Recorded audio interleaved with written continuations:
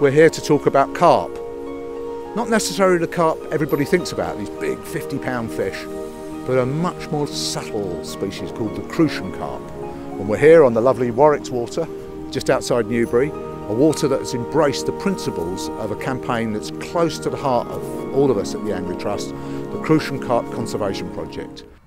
Well, either someone's opening a tackle shop by the side of Warwicks Water, uh, or there's somebody fishing here. Uh, and of course, there is someone fishing. It's my old mate Paul. How you doing, How you mate? Martin? Good to see you. you. Well, we just popped down to your Midgham Manor fisheries. You got some crucians stocked in there last week. We or- did. The, the condition of the crucians that turned up were phenomenal.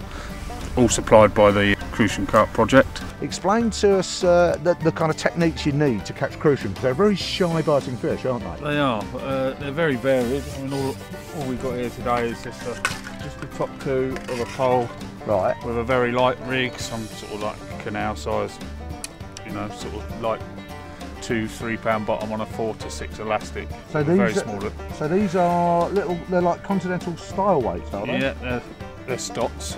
Right. Um, and then And these are the a nice equivalent of like what? About a number 12 shot. These Yeah. little shot here. Yeah, And then you've got Yeah. your bulk shot there, which is nothing much. yeah. And then let's have a look at your float. Oh my God. It's very, is delicate, isn't it? Very fine tackle, but the bites from the crucians uh, are very delicate. I'm sure you remember the day we spent at Marsh Farm with a very. Uh, some- Well, I mean, sometimes, sometimes it's just it's a like tiny isn't little. Boom. Yeah, Boom. yeah, So and this is why Yeah. you use such delicate tackle. yeah. Some, And, some uh, days, and- and some days they'll take here. away an, uh, they'll take away a waggler, Yeah. and uh, on other days when they're biting shy, you do need to be prepared. So, So this is this is a, a number what elastic? uh, this is a number six. Six. So that's Yeah. perfect to Yeah. fish with two and Yeah, three pound line. Yeah? fitted as well. So, So when Yeah. when if you get a big crucian, it Yeah, can absorb the shock of the fight. yeah. And what about on the business end? What have you done bait wise? Uh, we're just just trying a few maggots today. Uh, I've got various other bits and pieces and um, good, So- old, so- good old fashioned sweet corn. So chrysalis will do as well. Yeah, The darker caster. ones, yeah. yeah. Maggot, sweet corn, bits yeah, of bread. it. Do they work? Yeah, bread, uh, tiny pieces of luncheon meat. Right. Uh, there's, not, there's n- nothing special, you know. They'll take most things. If it's a caster or a good, you can bury the hook inside a caster if they're very shy biting. All right then, Paul. Let's see some bragging. Well, after our uh, unsuccessful day at Marsh Farm, that me and you had, I did return, and uh, that was the, the the best brace that I had, which Well, that- was a 314 and a 310. Oh, it's Uh, beautiful. Well, absolute stunners. Of course, our plan is to, to be able to do this here in the Kennet Valley. Yeah, yeah, and uh, you know, I don't know if they'll get that big, but it certainly did used to hold uh, three pound uh, crucians in some of these waters. This little fish has seen a decline in habitat. It's threatened because of hybridisation with goldfish and common carp. And it's also such a great fish. It's a fish of little ponds, a fish for anglers to, to take those first faltering steps into the wonderful world of fishing. It's a shy biting fish, it's beautiful, it's bronze, it's brassy. And as you can tell, it's something I'm really passionate about. And there's an awful lot of crucian nuts here in the Kennet Valley. We've had the benefit of some great stocking from the Environment Agency into waters that are going to be especially managed with crucian carp in mind. Newbury Angling Association has taken the Crucian Carp campaign to heart and I'm joined here by Keith, a long-time member of the club's committee. Can you explain to us why Newbury Angling Association have decided to make crucians crucial? Well, one of the things that has been painfully obvious is that uh, the population of crucian generally um, has been reduced, and because with the particular emphasis on carp fishing generally, um, as a club, we're always looking to move forward. And I remember when you actually spoke to myself and one of my colleagues at the AGM and said, would we be interested in as a club? And from the moment we started to discuss it, there was a lot of enthusiasm.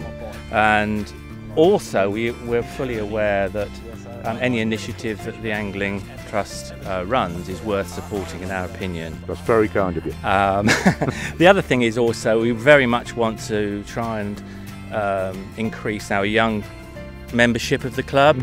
Um, we have lost quite a number of junior members, so we feel that having this initiative on board um, should and will attract more children into the club.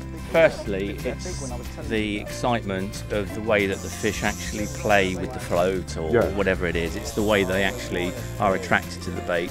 And it's the colour of the fish, that vibrant gold and the red fins. It's absolutely spectacular. And I, I know as a youngster, um, not here I have to say, but that was one of the best fish I, as far as you know I'd ever caught. And um, I'm sure the youngsters, you know, it's just special. It's just special. They are special. Just, just round the corner here, uh, just by that vegetation, uh, down on the inside of this lake, I've caught some beautiful, beautiful crucian carp. But sadly, of course, they've had to compete with other fish in, in, in, in the lake. So I'm delighted that the Newbury Angling Association are going to restock this lake, are going to make sure it's managed with crucians in mind, because I really do think that this particular water uh, could become uh, one of the great crucian carp ponds, uh, certainly in the Thames Valley. Well, Bob, here we are at Warwick's Water. There can't be many people who've had a lake named after them. How did that come about? Well, all the work I've done in the past, 60 years I've been in the club, and uh, paperwork I've done for them and bits and pieces and then I was treasurer and now I've uh, just sitting and taking a back seat now. So this is for services rendered to Newbury Angling Club, yeah? Correct. Fantastic. Now we've talked about Warwick's Water as a perfect venue for crucian carp. Have you caught crucians here, Bob? I have caught crucians here. Any big ones? Uh, no, no. I, I seem to catch all the small ones. But uh, no, uh, uh, about about just under two pound was the biggest one I've had, biggest crucian. What does it feel like uh, to have that big bar of gold coming into your Oh, lovely! I didn't realise it was a crucian until it came out. I thought, you know, in, my, in those, this, I was, when I was young. Yeah. Uh, uh, it was. I thought it was a goldfish to start with. You know, when it was thrusting about. But no, when it came out, lovely, lovely, and I think crucians are terrific. With the stockings we've recently received, courtesy of the Environment Agency, there's massive potential here in the Thames Valley for creating new crucian fisheries. But of course, the premier crucian fishery, the one that has got all the headlines, uh, is Godalming Angling Club's water at Marsh Farm down there in Surrey.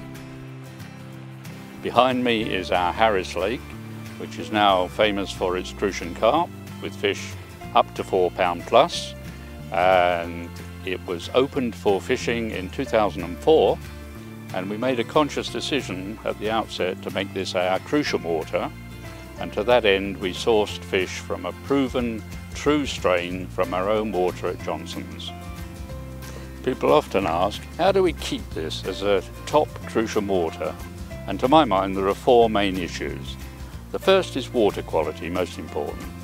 The second is predation. We want to maintain these crucians and keep them so we have cormorant control. The third is competition, and to that end we want to make sure our crucians are well fed, so we avoid putting bream in the water. And finally, of course, the most important is hybridisation.